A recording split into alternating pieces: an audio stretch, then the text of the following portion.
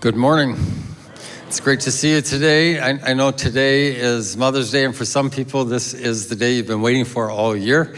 And how many are glad it didn't snow today? Because I've seen that happen, and there are no happy mothers when it snows on Mother's Day. Um, but for all you moms, uh, so grateful for all that you do to make your family what it is. And of course, some of us. Uh, there's some tension with our moms, or maybe our moms have passed, or maybe there's some in the room who would very much like to be moms and that hasn't happened yet.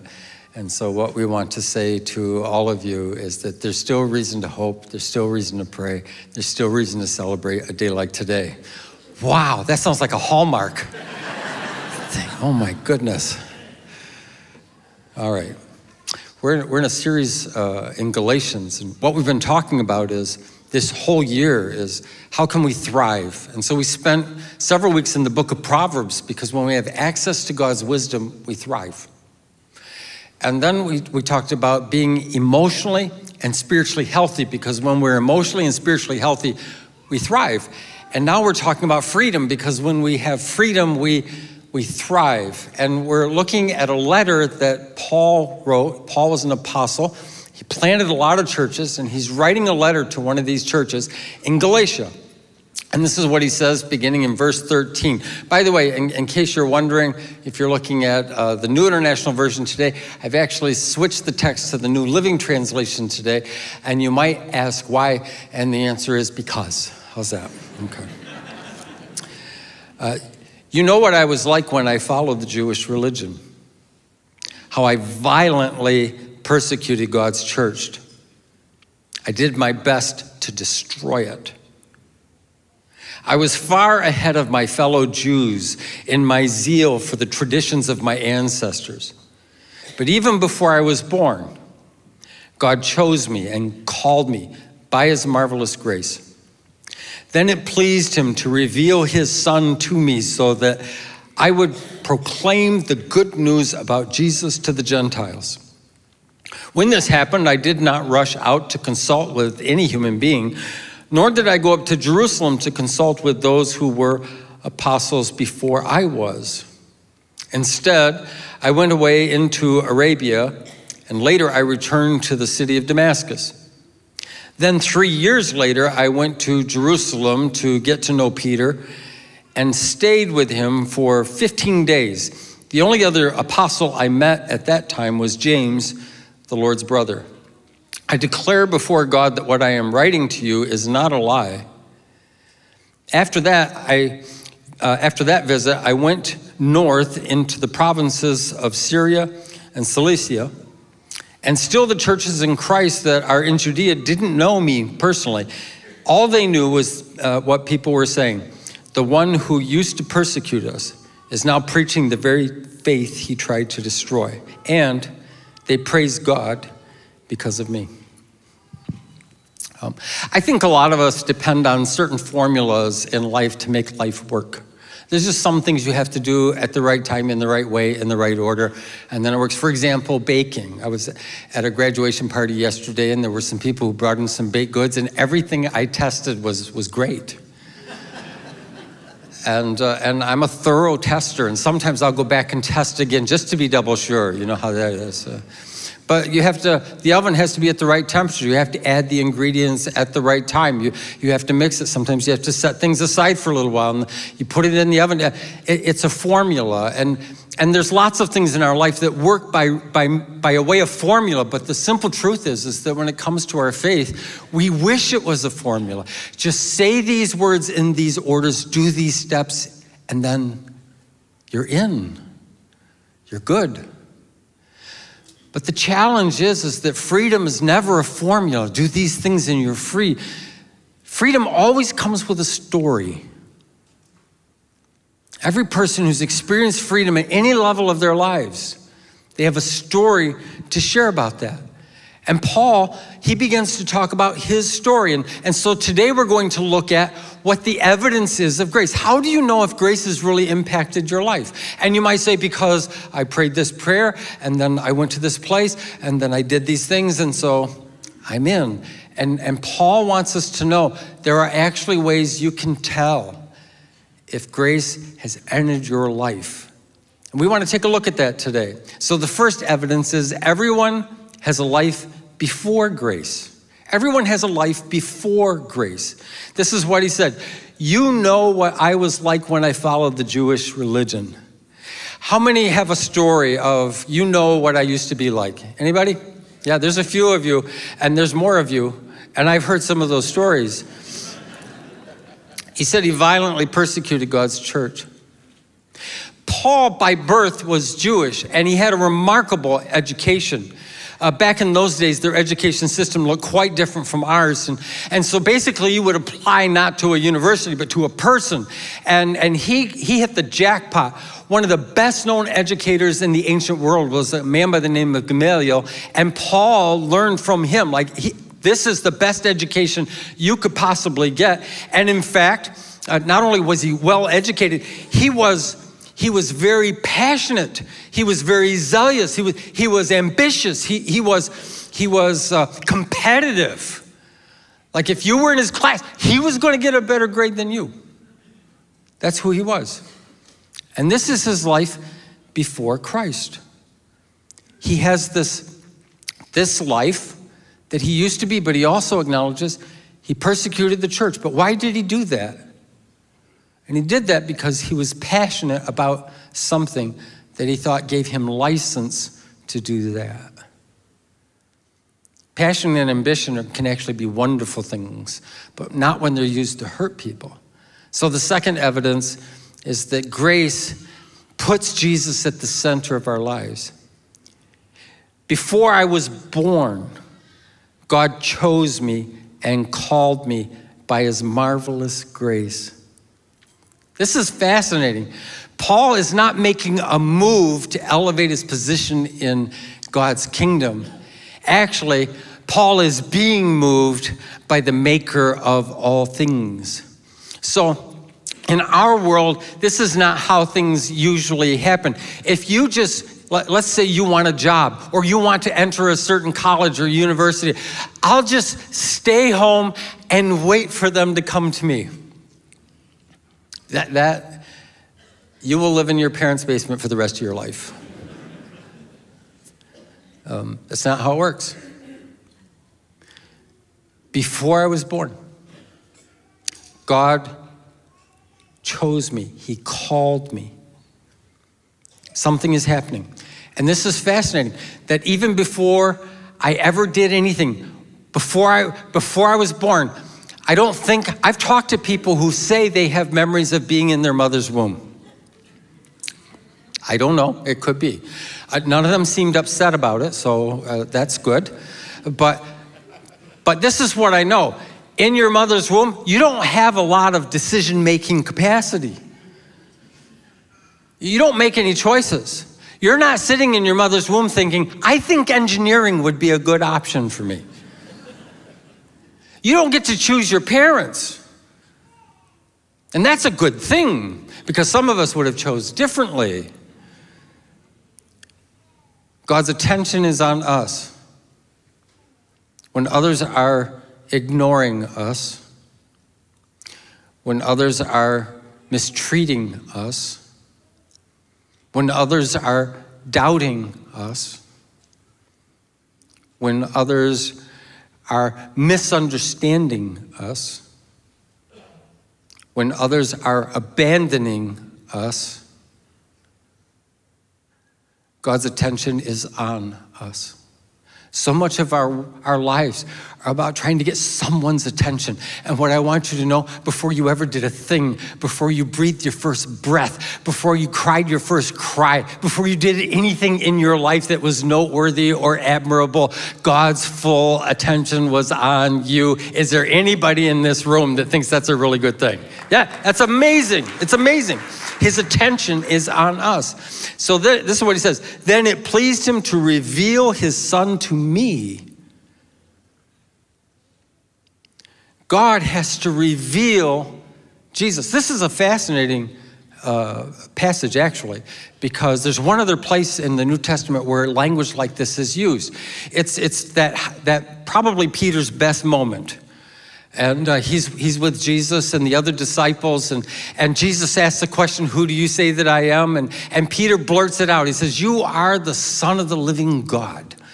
And Jesus said, Flesh and blood did not reveal this to you. My Father revealed this to you. This, in, in fact, in the original language here, that concept of flesh and blood, no man, no flesh and blood revealed this to you. God revealed who Jesus was to Paul. And only God can do that. And all Paul could say was, Thank you. Gratitude flows out of his heart because he didn't earn it, he didn't accomplish it, he didn't achieve it. So many people look at their spiritual journeys and their faith lives as though something that they accomplished. There, I read through the Bible. There, I prayed for an hour all at the same time. There, I went to so many services without missing an attendance. There, I served in some capacity. And we assume that we're, we're elevating, we're, we're, we're increasing our education. We got out of kindergarten and now we're in first grade, second grade, third grade. Now we're in post grad. We, we assume we're achieving something. And it's not how it is because when we are achieving something, we are at the center of our lives. And God is in the peripheral. But when God reveals to us who Jesus is, He is at the center of our lives. And we might do something for Him because we want to be express our gratitude to him. But that's not the same thing as doing something for him so he will notice us value us and appreciate us. In our world i know there are lots of people who spend their entire lives trying to prove something to other people or get approved by other people and that's because there's something in our nature and our culture that tells us we're not worth much on our own and God completely disagrees. All he could say was, Thank you. Jesus is at the center of his life. The third evidence is time alone with God.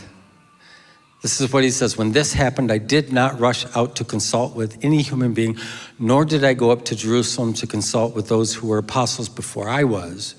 Instead, I went away to Arabia, and later I returned to the city of Damascus. Our culture teaches us that we have to gain our own value. And our culture teaches us that freedom comes from, from the things that we do. We accomplish it. And Paul came to understand that once Jesus became the center of his life, it was Christ who made him free. But it also meant this he had a whole lifetime of seeing things a certain way, of seeing God's word a certain way, of seeing people a certain way. When he looked at scripture, he did not see Jesus in scripture. What he saw was a club that he could use to bludgeon people into better behavior. And he was very good at wielding that club. He was a ninja at using scripture to try to bludgeon people into some kind of compliance. And so Paul also saw people as often problems. If they were not living the life that they were supposed to live, he thought it was his job to fix them. I'm going to give you a big pass today. Are you ready? Here you go. It's not your job to fix anybody. I'll just say if God can't do it, do you really think you can? How powerful do you think you are? Why is this important? Because when we spend time in the presence of God, we actually begin to see Scripture differently.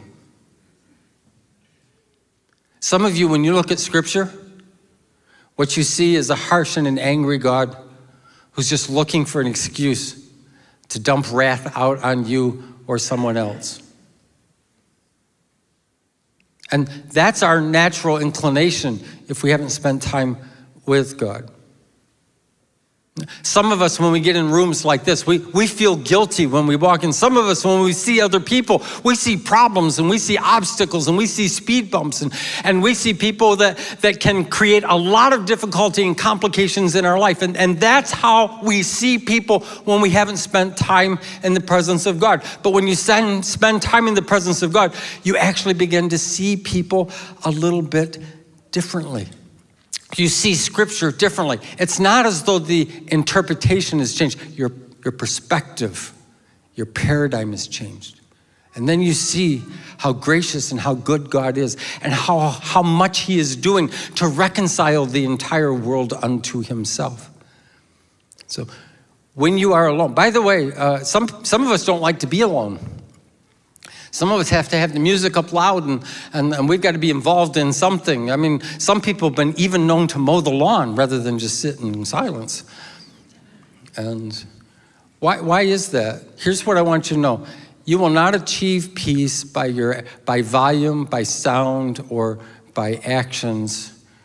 We achieve peace, we experience peace when we're in the presence of the Prince of Peace. That's where peace is. And so it's, it's really interesting to me that, that when we gather in rooms like this, the question I would have for you is Do you have any thoughts about God? Do you access any of His Word? Do you have anything to say to Him outside of rooms like this? Because if this is the only time that you think about Him, if this is the only time that you access Scriptures, if this is the only time that you might utter a prayer, then this is good. Like we want to be in community. Scripture calls for that. But if our, our faith is only something that happens when we're surrounded by other people who are calling the shots, maybe Maybe grace hasn't invaded your heart yet. And I know what you're thinking. What do I need to do? No, no, no. Who do you need to be with? And it's Jesus. So take time. Uh, last evidence, the fourth evidence, is sharing your story. Three years later, I went to Jerusalem to get to know Peter, and I stayed. I want you to just remember that word stayed, it's an important word, with him for 15 days. The only other apostle I met at that time was James, the Lord's brother. The word stayed in, um, in the Greek language is called it's historio. It's a word we get history from. And it's, it's what people do when they spend time with each other. I'll ask the worship team to come out and uh, they, they stayed. You, you start sharing your history. Um, perhaps some of you have been on a, a dating site or you have a dating app and you put in information about yourself, right? Uh, almost everybody likes uh, walks on the beach and,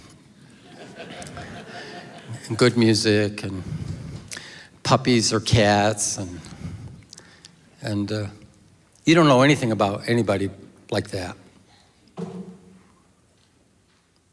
Um, do you know how you get to know people? Is you get together and you start sharing stories. I remember when I was in high school, I did this. I can't believe I did it. And, and sometimes there's laughter, sometimes there's big eyes, and You're kidding me, you, you did that. And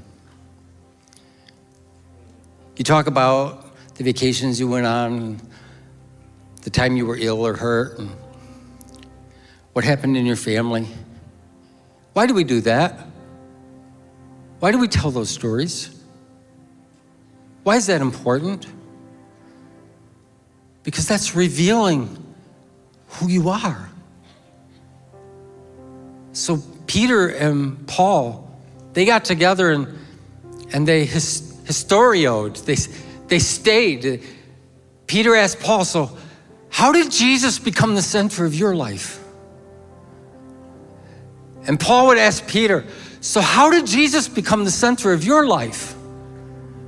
And, and those are very different stories. Peter could say, I was fishing, and Jesus walked up to me, and he gave me an invitation to follow him. And I didn't think I was worth any of that, but he assured me it was all good. And for the next three and a half years, I listened to him preach in public. I listened to his private conversations. I watched him pray. He corrected me sometimes. One time he called me the devil. He said, Get behind me, Satan. That's... But he is the center of my life. And Paul, how, how did you get to know Jesus? How did Jesus become the center of your life? And Paul says, Well, I, I was actually trying to kill people like you. And I was on my horse on my way to Damascus, and, and God knocked me off my horse. There are no two conversion stories that are the same. because there are no two people who are the same. It's not a formula. God doesn't call you to come and say these words this way and then take these actions and, and now you're in. It's not how grace works. Grace has a story attached to it, and your story is different from somebody else's story. And your story is no worse than somebody else's, and it's no better than somebody else's. The stories are different, but the grace is the same. Is there anybody that's happy about that this morning? The grace of God is the same. It's the same. So we get together and we share our stories. I'm wondering if you have a story of how Christ became the center of your life. And maybe you don't. And that's okay. I'm not asking if you've been raised in, in church all your life, because some of us have and some of us have not. What fascinates me is, is our stories tend to go one of two ways. Lots of stories in, in our faith journey are about the people who lived rebelliously. They, they struggled with addictions. They had great fears and anxieties. They, they, they just were, they lived selfishly. That was not Paul's story. Paul's story was I was raised in the faith my whole life. I was passionate about it. If you didn't line up, I'd try to get rid of you. And some of us, we think we don't have a story because we were raised in religious environments. It's not true. Jesus can still become the center of our lives. So, what's in your story? What's in your story? And, and we, we have some good stories to tell. I love telling stories. I really love telling stories where I'm the hero. I just, But there's stories where I'm not the hero at all. Where my character wasn't strong enough, where my faith wasn't big enough, where where I was intimidated. I was trying too hard to get other people's approval. And I am so glad that the grace of God doesn't just flow into the times I got it right, but it flows into the times that I couldn't get it right. And here's what the thing all of that is part of our story. Paul started the passage, right? You know what I was like when I used to live according to the Jewish traditions. What were you like before? What's changed? Would you bow your heads? Uh, Father,